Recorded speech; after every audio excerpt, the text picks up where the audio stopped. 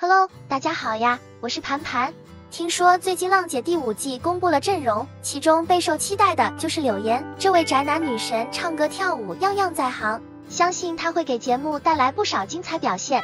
在《浪姐》的预热采访节目中，柳岩敞开心扉回应了一些非常尖锐的问题。当被杨天真问到，如果现在有人冒犯你，你会怎么做呢？柳岩很干脆的回答，我会直接怼回去。开始讲述在演艺圈过往不愉快的经历。有些男艺人自以为可以像的大鹏一样随意调侃他的身材。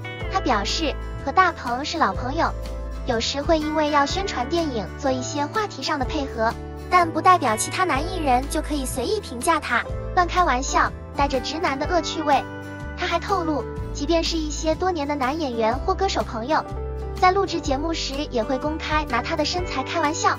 柳岩私下跟他们表达过自己的不快，对方竟然还理直气壮地说，以为这样就是在帮助他宣传。这样的回答让柳岩更加愤怒无力。这种人就是不但不尊重他，也不尊重女性。不少网友也都表示，这种冒犯女性的人还自认为在帮他的行为，不要太颠啊，简直就是男神经病嘛！其实一直以来，柳岩在公众眼中的定位就是性感女神。虽然这样的标签确实提升了她的知名度。但也给他带来了太多不被尊重的遭遇。看似老实的李晨，在综艺里都会用最那个的人形容他，还比划着圆圈暗示他的身材火辣。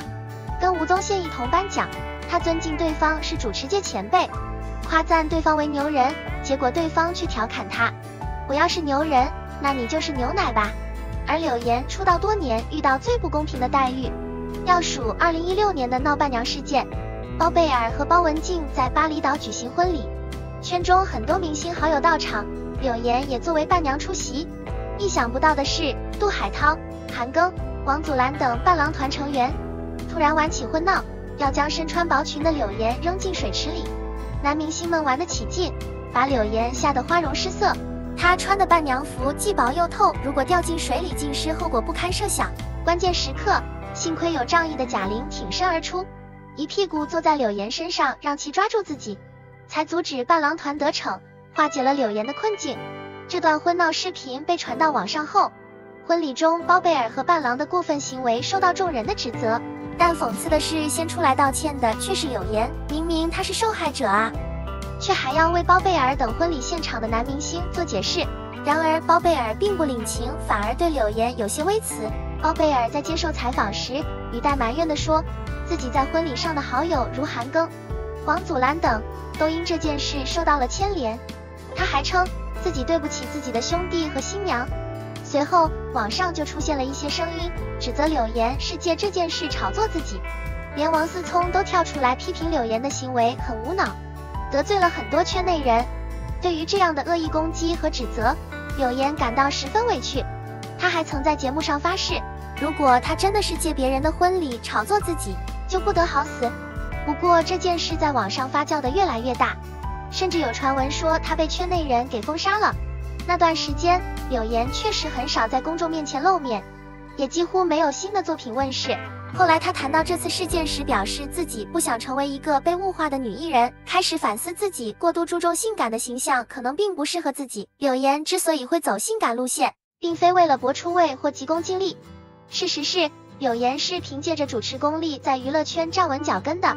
早在一九九九年，十九岁的她参加广州美花城初赛，随后签约广州电视台三十四频道担任节目主持人，后来也曾主持过财经新闻，可见其专业功底。出生于湖南的柳岩，父母都有稳定的工作，这样的家庭虽然算不上大富大贵，但是却也足以让柳岩的童年衣食无忧。不仅如此，柳岩的父母非常重视对柳岩的教育，再加上小时候的柳岩很是乖巧。因此，在学校的成绩一直名列前茅。再加上柳岩从小就是个美人胚子，小时候的她无论走到哪里都是众星拱月般的存在。然而，这样无忧无虑的幸福生活，在柳岩中考前夕戛然而止。这一年，柳岩的父亲意外发生车祸，司机肇事逃逸，于是柳岩母亲只能拿出家里的积蓄给柳岩的父亲看病。因为看病花去了太多的钱。家里实在是没有多余的钱支付柳岩高中的学费，无奈之下，柳岩在中学毕业之后，进入了学费最低的中专卫校学习，并且在毕业后分配到了当地一家规模并不算大的医院。虽然工资不高，但是胜在稳定。在医院工作期间，柳岩邂逅了自己的初恋，对方是和柳岩同医院的医生。然而，因为那名医生比柳岩大了十五岁，因此两人这段恋情遭到了柳岩父母的强烈反对，尤其是柳岩的母亲，为了让柳岩离开那名医生，不惜以死相逼。在母亲的棒打鸳鸯之下，柳岩离开了那名医生。而在柳岩和医生分手之后，柳岩的母亲便被诊断出患上了直肠癌。彼时，柳岩家里的积蓄，为了给柳岩父亲治病，已经花的差不多了，实在很难承担柳岩母亲的医药费，所以柳岩不得不另寻出路，快速赚钱。而刚好这个时候，光线传媒正在举行选秀节目，并且承诺参赛者只要能够拿到选秀的冠军，便能够拿到丰厚的奖金。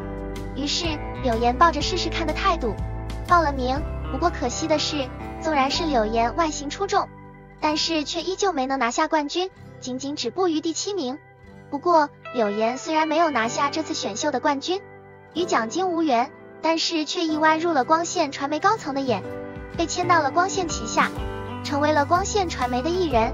当年她加入光线传媒后，开始涉足影视圈，因此被贴上了性感女神的标签。不过她解释说。这其实并非出自她自己的选择，而是公司希望她以这种方式出镜。其实性感并没有错啊，反而内娱性感的艺人还很少。柳岩也没说要撕掉所谓的性感标签，错的是那些随便拿人家身材开玩笑的人。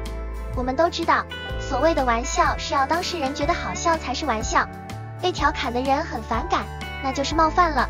最重要的性感可不等同于随便让人开色情玩笑，这才是根本。后来因为婚礼事件引发争议，柳岩确实有些压抑和封闭自己，但其实私下里她依然是一个温柔坚强的大姐姐形象。